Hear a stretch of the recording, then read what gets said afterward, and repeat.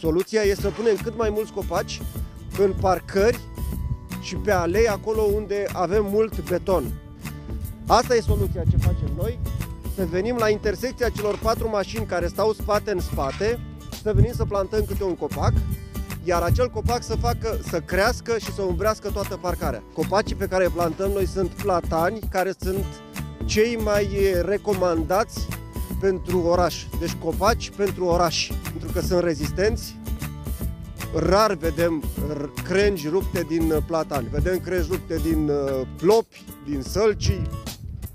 Platanii sunt cei mai rezistenți, copaci de oraș.